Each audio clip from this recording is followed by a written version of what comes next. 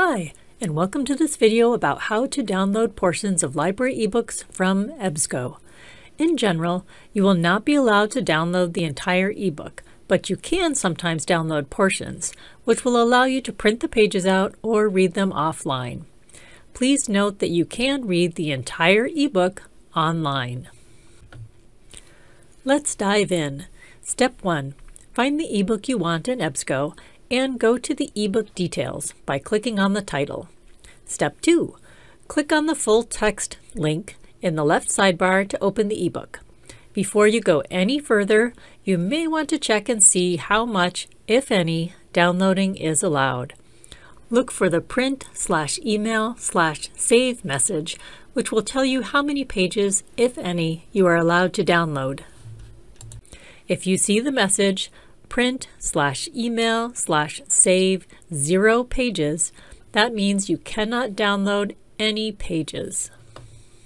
Here is an example of an ebook that says print slash email slash save 100 pages, which means I can download up to 100 pages. So step three is to determine which pages you want. If you want a whole chapter, then use the table of contents in the left sidebar to find the chapter you want. Step 5 is to click on the download icon next to the chapter title in the table of contents. Choose the chapter option from the download chapter window that pops up and click on the download PDF button. Step 6 is to open your PDF from your computer downloads and start reading. If you want to download a specific page range, click on Save Pages at the top of your screen. Use the options to select your pages and click on the Save PDF button. The email pages and print pages options work similarly. You may have noticed the full download button in the top right corner. Most of the time, this button will simply bring up a message that says, sorry, this title is not available for download. On the rare occasion that full downloading is allowed, you will need to jump through some hoops to get it.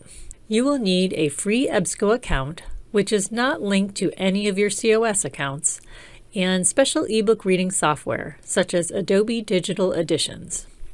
To download the ebook, click on the Full Download button and log in with your EBSCO account.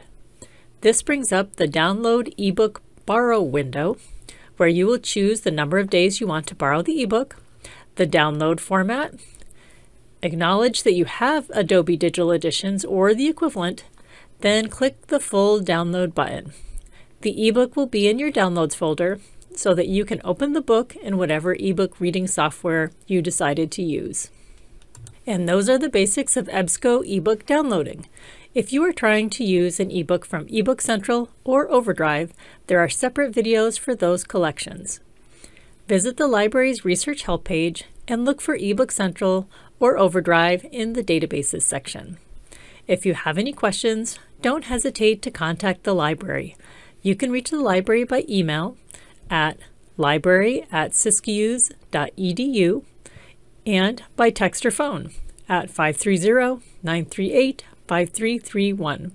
Our website is www.siskiyous.edu slash library, which is where you'll find all of our contact info and our open hours.